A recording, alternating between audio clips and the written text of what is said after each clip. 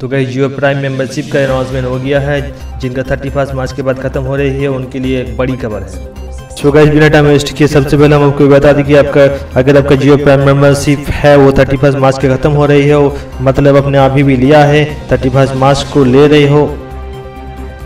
एक खबर आई है जियो प्राइम मेंबरशिप की तरफ़ से और एक खबर ये है कि अगर आप, अगर आपने थर्टी फ़र्स्ट मार्च से पहले जियो प्राइम मेंबरशिप ली है मतलब मतलब थर्टी फ़र्स्ट मार्च को आपका जियो प्राइम मेंबरशिप खत्म हो रही हो तो आप ऑटोमेटिकली एक साल की फ्री मिल जाएगी।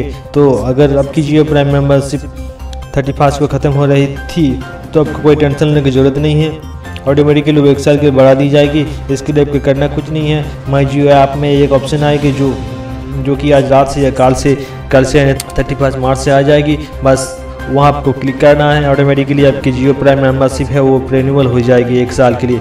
लेकिन हाँ आप फ़र्स्ट अप्रैल को कोई नया सिम लेते हो तो आपको इंटरनेट रिचार्ज करना ही होगा।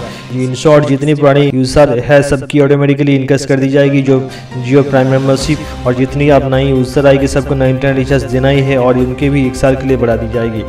सो so गाइस अगर आपको वीडियो अच्छा लगे तो प्लीज़ आप इसको लाइक करिए शेयर करिए मेरे सारे फ्रेंड के साथ ताकि उनको भी पता चले कि उनको कुछ नहीं करना है। ऑटोमेटिकली उनके जियो प्राइम मेम्बरशिप एक साल के लिए बढ़ा दी जाएगी। उसी तरह, जिस तरह उसने पहले रिचार्ज किया था। तो अगर आपको रिन्यूअल करने में कोई प्रॉब्लम आ रही है तो आप ये वीडियो को देख सकते हैं।